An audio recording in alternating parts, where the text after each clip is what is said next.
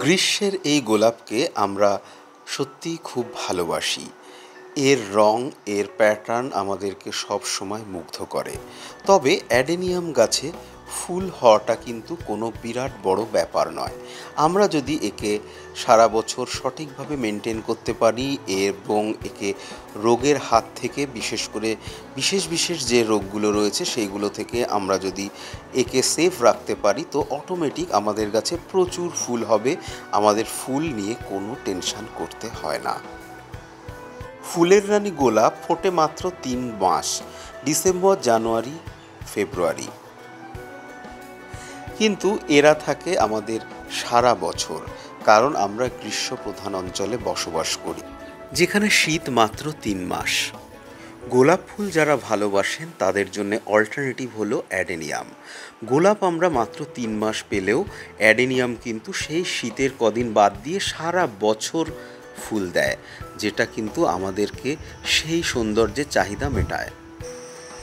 নমস্কার বন্ধুরা birds and টুইক্সের আর একটা এপিসোডে সকলকে স্বাগত। আজ আমি অ্যাডেনিয়াম গাছের সয়েল মিক্সের ওপর আলোচনা করতে চলেছি। গত বছর বেশ কিছু অ্যাডেনিয়ামের ওপর বিভিন্ন ধরনের সয়েল মিডিয়া প্রিপারেশন করে আমি কিছু এক্সপেরিমেন্ট করেছিলাম, সেগুলো আজ আমি আপনাদের সঙ্গে শেয়ার করতে চলেছি। যদিও অ্যাডেনিয়াম গাছে সয়েল মিডিয়ার ওপর বিভিন্ন ধরনের প্র্যাকটিস রয়েছে, বিভিন্ন ধরনের অ্যাডেনিয়ামের জন্য বা বিভিন্ন স্টেজ গ্রুপের অ্যাডেনিয়ামের জন্য আলাদা আলাদা সয়েল মিডিয়া প্রিপারেশন করার প্রয়োজন হয়ে থাকে। অ্যাডেনিয়াম বিশেষ করে যখন ছোট থাকে, অর্থাৎ সিডলিং থাকে, তখন তাদের প্রচুর পরিমাণে জলের প্রয়োজন হয়। সেই সময় তাদেরকে একটা প্রাইমারি মিডিয়ার মধ্যে রাখা হয়, যেখানে প্রচুর জল ধারণ ক্ষমতা দেয়া হয় সেই মিডিয়াতে এবং তার ফলে গাছগুলো খুব সহজে ফ্যাটেনিং হয়। অর্থাৎ গাছগুলো মোটা হয় কর্ডেক্স ধীরে ধীরে মোটা হয়ে যায়। তবে ওই মিডিয়ায় কিন্তু ছ মাসের বেশি কোনো অ্যাডেনিয়ামের সিডলিংকে রাখা হয় না। কারণ সেখানে ইউজ করা হয় কোকোপিট। কারণ কোকোপিট একটা নির্দিষ্ট সময় পর সেটা ডিকম্পোজ হতে শুরু করে, তা তখন তার জল ধারণ ক্ষমতা কমে যায় এবং সেটা অত্যন্ত সগি হয়ে যায়। জল যে ধারণ করে তার মধ্যে ক্যাপচার করে লক করে রাখবে, সেই ব্যাপারটা, সেই মেকানিজমটা তখন তার থাকে না। তখন তার আগে আমাদেরকে সেই সয়েল মিডিয়া প্রিপারেশান যেটা আমরা আগে করেছিলাম, সেটাকে সম্পূর্ণ বাদ দিয়ে নতুন সয়েল মিডিয়া প্রিপারেশান করে মোটামুটি পারমানেন্ট একটা সয়েল মিডিয়ার মধ্যে গাছকে এর পরবর্তীতে বড় করার প্রয়োজন হয়।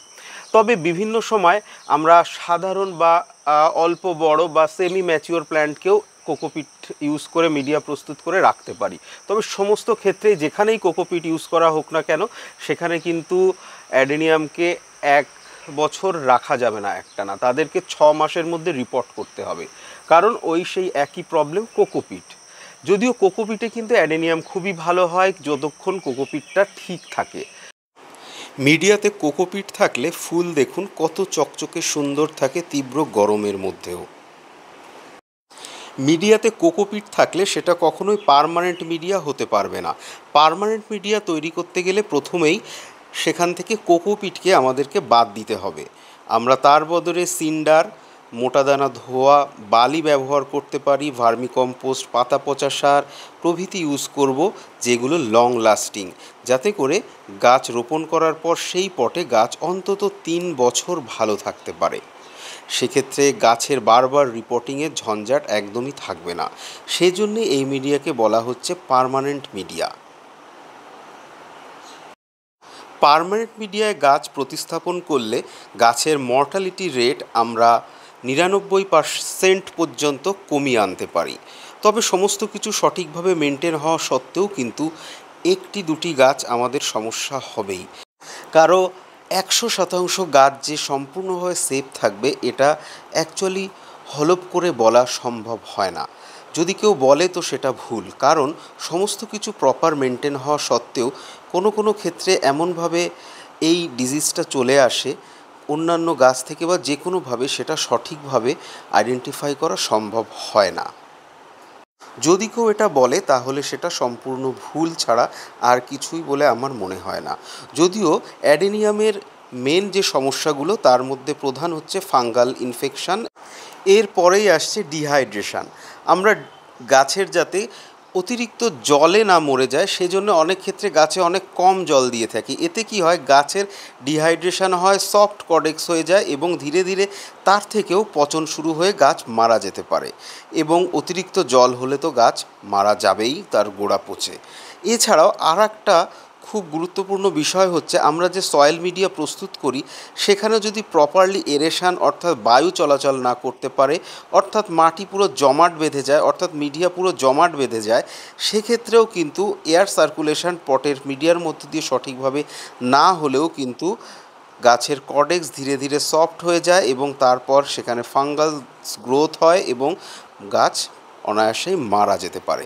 এই কয়েকটা বিষয় যদি প্রপারলি আমরা ম্যানেজমেন্ট করতে পারি, তাহলেও গাছের মৃত্যুর হার আমরা নিরানব্বই পার্সেন্ট পর্যন্ত কমিয়ে আনতে পারব। চলুন দেখে নেওয়া যাক আমার গত বছরের এক্সপেরিমেন্টগুলো আমি সেখানে পার্মানেন্ট মিডিয়া প্রস্তুত করেছিলাম দুরকমভাবে এবং তাছাড়াও বিভিন্ন ধরনের মিডিয়াতে গাছের কেমন রিয়াকশান হয়, তাদের লংজিভিটি কীরকম আসছে, সেই বিষয়গুলো আমার এই এক্সপেরিমেন্টের মধ্য দিয়ে আশা করি ক্লিয়ার হয়ে যাবে সবার কাছে। প্রথমেই আমি দেখাই আমার এই দেড় বছরের পুরনো ফায়ারোপাল গাছটি। এটিকে নার্সারি থেকে আনার পর আমি মোটামুটি এক দু মাসের মধ্যে এটাকে রিপোর্ট করেছিলাম একটা পারমানেন্ট মিডিয়াতে তারপর থেকে গত বছর কিন্তু বর্ষাকালে এটা সম্পূর্ণভাবে বাইরেই ছিল। এবছরও যত বৃষ্টি হয়েছে কম বেশি এটা কিন্তু বাইরেই রয়েছে। তা সত্ত্বেও দেখুন, ফুলগুলোও নষ্ট হয়নি এবং গাছ কিন্তু খুব সুন্দর গ্রোথও এসছে। আমি এই গাছটাতে যে মিডিয়া প্রস্তুত করেছিলাম, সেখানে ইউজ করেছিলাম ধুয়ে রাখা বালি এবং কাঠকয়লা এবং তার সাথে পাতা পচা সার। এই তিনটে উপাদান আমি একদম সম পরিমাণে মিশিয়ে এটা তৈরি করেছিলাম, খুবই জেনারেল একটা মিডিয়া এখানে কোনো সিন্ডার নেই, শুধুমাত্র কাঠকয়লা আছে ধুয়ে রাখা বালি। বালি সবসময় ধুয়ে নেওয়ার প্রয়োজন হয়, কারণ বালিতে লবণাক্ততার পরিমাণ থাকে, অনেক ক্ষেত্রে লবণ থাকে, সেজন্য গাছের পরবর্তীতে ক্ষতি হয়। সেজন্য ধুয়ে রাখা বালি গাছের জন্য বিশেষ প্রয়োজন, অ্যাডেনিয়ামের জন্য তো বিশেষভাবেই। দেখুন আরও প্রচুর ফুল আসছে এবং গাছের কোনো ক্ষতি হয়নি বর্ষাতেও। গাছকে আমি একদমই ঘরের মধ্যে তুলিনি বা শেডে রাখিনি, বাইরেই রয়েছে এবং গ্রোথও সুন্দর এবং পাতাও যথেষ্ট সুন্দর। আমার মনে হয় এই ধরনের মিডিয়া পারমানেন্ট মিডিয়া হতে পারে। এই যে গাছটা দেখছেন, এটা গোল্ডেন লিফের একটা বিশেষ ধরনের অ্যারাবিকাম এটা আমাকে একজন দাদা গিফট করেছেন। এখানে যে মিডিয়া ইউজ করেছি, সেটা হচ্ছে বালি মোটাদানা বালি এবং পাতা পচা সার। মিডিয়াতে আর কিছুই নেই। দেখুন, এই ধরনের গাছ কিন্তু স্পেশালি মিডিয়া প্রস্তুত করার প্রয়োজন হয়। এরা ন্যাচারাল হ্যাবিটেটে যেমন পরিস্থিতিতে থাকে, সেরকমভাবেই মিডিয়াটা তৈরি করতে হবে।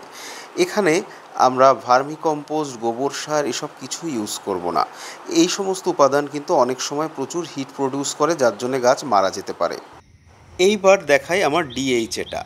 এখানে যে মিডিয়া প্রস্তুত করা হয়েছে, এখানে আছে সিন্ডার এবং পাতা পচা সার। এবং খুব অল্প পরিমাণে মোটা দানা বালি আছে।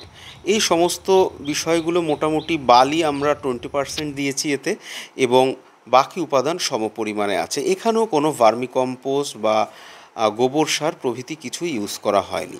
যে সমস্ত দামি এবং রেয়ার প্ল্যান্ট আছে সেক্ষেত্রে আমাদেরকে এটা এড়িয়ে যেতে হবে। এই মিডিয়াতে গাছ যথেষ্ট ভালো আছে, এটা একটা পারমানেন্ট মিডিয়া। এবার দেখুন এই গাছটিকে। এগুলো অ্যাকচুয়ালি অ্যারাবিকামের সিডলিং কিন্তু রেয়ার এবং মূল্যবান গাছ। এই গাছগুলোতে ব্যবহার করেছি পাতা পচা সার, মোটা দানা, বালি এবং কোকোপিট, সমস্ত কিছু সমপরিমাণে মিশিয়ে। এগুলো পারমানেন্ট মিডিয়া এতে কি হবে? অনেক বেশি গাছ ফ্যাটেনিং হবে। এবং এই গাছের যেহেতু প্রচুর জলের প্রয়োজন হয়, সেজন্য কিন্তু এখানে কোকোপিট ইউজ করা হয়েছে। তবে ছ মাসের মধ্যেই এটাকে আবার রিপোর্ট করে দেব। আমি এটাকে আবার অক্টোবরে রিপোর্ট করে দেব। তখনও এটাতে আমরা চাইলে কোকোপিট ইউজ করে সেম মিডিয়ায় রাখতে পারি। কারণ যেহেতু ছোট সিডলিং এবং এদের প্রচুর জলের চাহিদা, অক্টোবরের পর যেহেতু শীতকাল চলে আসবে, তখনও কিন্তু এদের জলের চাহিদা থাকবে। যেহেতু ছোট গাছ, এদের গ্রোথ এবং জলের চাহিদা মেটানোর জন্য কোকোপিট এখানে রাখতেই হবে। তবে আবার যে ফেব্রুয়ারি, মার্চ মাস আসবে, তখন কিন্তু এর মিডিয়া আবার পরিবর্তন করার প্রয়োজন হবে। তা না হলে কিন্তু এর গোড়া যে কোনো সময় ফাঙ্গাল ইনফেকশন হয়ে পচে যেতে পারে, কারণ কোকোপিট ছ মাসের বেশি থাকে না। সেই জন্য চার পাঁচ মাসের মাথাতেই আমাদেরকে এটাকে করতে হবে নতুন করে রিপোর্টিং এটা ভুললে কিন্তু চলবে না একদমই। এবার আরও কিছু গাছ দেখায় যেগুলোকে একটু অন্যরকমভাবে তৈরি করা হয়েছে। এখানেও ইউজ করা হয়েছে পাতা, পচা সার, বালি এবং চারকোল। সব কিছু সমপরিমাণে মিশিয়ে আমি এখানে চারকোলের বদলে সিন্ডার দিতে পারতাম, তবে আমার কাছে তখন সিন্ডার ছিল না। তবে এই সমস্ত উপাদানও কিন্তু পারমানেন্ট মিডিয়া হিসাবে কাজ করে। কারণ এক্ষেত্রেও আমি দেখেছি কোনো সমস্যা আসছে না। দীর্ঘদিন যাবৎ গাছে কিন্তু খুব সুন্দর পাতা থাকছে এবং কোনো রকম সমস্যা হয়নি কডেক্সের সেজন্যে এই মিডিয়াও কিন্তু ব্যবহার করতে পারেন। অনেকের ক্ষেত্রেই তারা সিন্ডার পান না। আমিও যেহেতু সিন্ডার পাইনি, যদিও আমি পরবর্তীতে সিন্ডার দিয়ে মিডিয়া প্রস্তুত করেছি, আপনাদেরকে দেখাবো। কাঠকয়লা ব্যবহারের কিছু উপকারিতা আছে, কারণ সেখানে অ্যান্টি ফাঙ্গাল প্রপার্টিস থাকে, যেগুলো ফলত ফাঙ্গাল ইনফেকশন অনেকাংশেই কমায়। সেজন্য মিডিয়ার সাথে যদি অন্তত পক্ষে টোয়েন্টি পারসেন্ট বা টেন পারসেন্ট যদি আমরা কাঠকয়লা রাখতে পারি সেক্ষেত্রেও কিন্তু ফাঙ্গালের ইনফেকশন হয়ে কর্ডেক্স নষ্ট হয়ে যাওয়া বা পচে যাওয়ার প্রবণতাকে অনেক অংশই কমানো সম্ভব হয়। এই গাছটিকে দেখুন এই গাছটিতে যে মিডিয়া দেওয়া হয়েছে সেখানে হয়েছে ফর্টি পারসেন্ট বালি এবং ফর্টি পারসেন্ট পাতা পচা সার। টোয়েন্টি পারসেন্ট ভার্মিকম্পোস্ট এটাও একটা পারমানেন্ট মিডিয়া যাদের কাছে এই সমস্ত উপাদান আছে বা অন্যান্য সিন্ডার নেই, তারা কিন্তু এটা ইউজ করতে পারে। এখানেও কিন্তু গাছ যথেষ্ট সুন্দর হয়েছে। এই যে গাছগুলো দেখছেন, এগুলো সব পারমানেন্ট মিডিয়ায় সেট করা গাছ। গাছের হেলথি একটু ডিফারেন্ট এখানে ইউজ করা হয়েছে বালি, পাতা পচা সার এবং খুব অল্প ভার্মি কম্পোস্ট ভার্মি কম্পোস্ট আমি টোয়েন্টি পার্সেন্টের ওপরে ব্যবহার করি না, কারণ ভার্মি কম্পোস্টের সমস্যা হচ্ছে সেটা গোবর সারের মতনই খানিকটা এখানে বৃষ্টির জল পেলে ফাঙ্গাস গ্রো করতে পারে এবং তার সঙ্গে সঙ্গে চরম উষ্ণতা তৈরি করে যা কডেক্সকে নষ্ট করে দেয় অনায়াসেই। সেই জন্য সম্ভব হলে পাতা পচা সারের আধিক্য আপনারা করতে পারেন, কিন্তু ভার্মি কম্পোস্ট খুব বেশি ব্যবহার করা চলবে না। এই গাছটিকে দেখুন, এখানে চারকোল ইউজ করা হয়েছে অল্প পরিমাণে, তার সঙ্গে আছে অল্প সিন্ডার এবং গোবর সার। দেখুন, গাছটা প্রথম দিকে ভালোই হচ্ছিল, কিন্তু বৃষ্টির জল পেয়ে সব পাতা ফাতা সব নষ্ট হয়ে গেছে। এখন দেখুন গাছের কি অবস্থা। এটা মূলত গোবর সারের জন্যই হয়েছে। যদি এখানে গোবর সার ব্যবহার করা না হতো, তাহলে কিন্তু গাছের এই সমস্যা হতো না। এর কডেক্স ইনফেক্টেড। এই গাছটিতে ব্যবহার করা হয়েছে ফিফটি পারসেন্ট ভার্মিকম্পোস্ট এবং ফিফটি পারসেন্ট মোটাদানা বালি। দেখুন, সেম প্রবলেম। একটু বৃষ্টির জল লেগেছে কি এই অবস্থা। এবার দেখুন পারমানেন্ট মিডিয়ায় গাছের হেলথ। গাছের চেহারা, গাছের পাতা সব কিছুতে একটা অন্যরকম গ্লসির ভাব রয়েছে এবং প্রচুর ফুলও আসছে এবং এই গাছগুলো অল্প বৃষ্টিতে কোনো সমস্যা হয় না, বিশেষ করে প্রচুর নিম্নচাপ বা দীর্ঘস্থায়ী নিম্নচাপ ছাড়া এই গাছে খুব একটা ডগাও পচে না। এক্ষেত্রে দেখুন ইউজ করা হয়েছে সিক্সটি পারসেন্ট সিন্ডার এবং অল্প ভার্মিকম্পোস্ট এবং অল্প পাতা পচা সার। এখানে টোয়েন্টি পার্সেন্ট ভার্মি কম্পোস্ট এবং টোয়েন্টি পার্সেন্ট পাতা পচা সার আমি ইউজ করেছি। কেউ চাইলে আরও বেশি পাতা পচা সার ইউজ করতে পারেন ভার্মি কম্পোস্টটাকে কমিয়ে। কারণ পাতা পচা সার খুব কস্টলি এবং সহজে পাওয়া যায় না। তবে এই একই রকম মিডিয়াতে গোবর সার মিশিয়েও আমি দেখেছি যে গাছের ভীষণই সমস্যা হয়। একটু বৃষ্টি হলেই গাছের কিন্তু গোড়া খারাপ হয়ে যায় এবং পাতাও নষ্ট হয়ে যায়। এই জন্য গোবর সারকে সম্পূর্ণভাবে অ্যাভয়েড করাই শ্রেয়। যদি একদমই উপায় না থাকে, তো যতটা সম্ভব কম দিতে হবে। পারমানেন্ট মিডিয়ায় গাছ রোপণ করলে কমপক্ষে তিন বছর আর রিপোর্ট করার প্রয়োজন হয় না। তবুও তিন বছর পর রিপোর্ট করার প্রয়োজন হয়, কারণ তিন বছর পর বা দু তিন বছর পরে দেখা যায় যে, আমরা যেসব উপাদান ব্যবহার করেছি, এর মধ্যে যে এরেশানটা হবে, অর্থাৎ যে ক্ষুদ্র ছিদ্র থাকে এই মিডিয়ার মধ্যে দিয়ে, যার মধ্যে বায়ু চলাচল প্রপারলি করতে পারে, সেগুলো অনেকটাই কমে আসে। সেই কারণে আমাদেরকে আবার রিপোর্ট করার প্রয়োজন হয়। কারণ বায়ু চলাচল সঠিকভাবে মিডিয়ার মধ্যে দিয়ে না হলেই তখনই সেখানে ফাঙ্গাসের গ্রোথ হয় এবং গাছ ধীরে ধীরে নষ্ট হয়ে যেতে পারে। সেই জন্য দু তিন বছর পর অবশ্যই আমাদেরকে চেঞ্জ করতে হবে। চারকোল ইউজ করলেও কিন্তু সেলফ লাইফ খুব বেশি বাড়ে না, কারণ চারকোলও কিন্তু সহজে পচে যায়, দু বছরের মধ্যেই কিন্তু পচে যাবে যদি নরম চারকোল আমরা ইউজ করি। এবার দেখুন এই গাছটিকে। এটিতে আছে মাটি এবং বালি, আর কিছুই নেই। এই ধরনের মিডিয়াতে গাছ কিন্তু প্রাইমারিলি কোনো একটা সমস্যা খুব একটা হয় না। দেখুন, খুব ভালোই গ্রোথ এসছে এবং ভালোই ফুল টুলও হচ্ছে।